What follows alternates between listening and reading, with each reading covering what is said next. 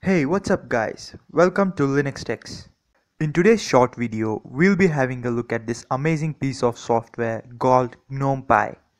GnomePy is not just a dock, nor it is just a launcher, but rather it's a combination of both. Unlike traditional docks, Gnome Pie is not always pinned to the screen, but is called on demand using hotkeys.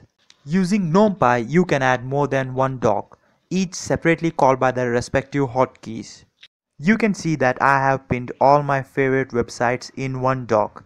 And yes, I must say that website integration works pretty well with Gnome Pie. My favorite applications in another dock and all the utilities in one more separate dock in case you need them quickly.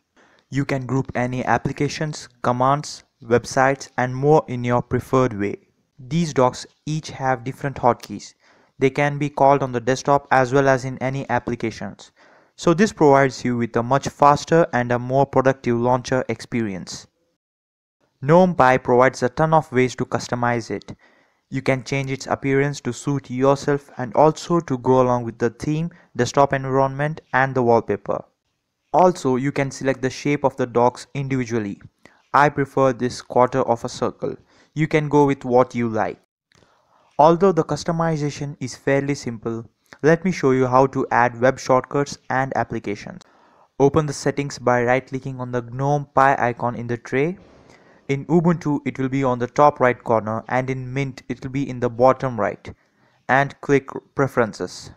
Select the Pie you want to customize or add a new one.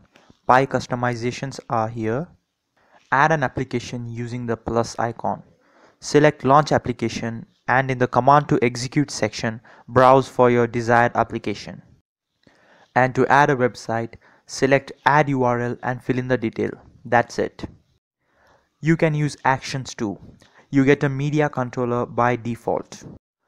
Installation instructions for all Linux distros are given in the description. You can install GNOME GnomePy by following them. GNOME GnomePy is limited only by your imagination. Customization is the key. You can tweak it up and make an ultimate launcher.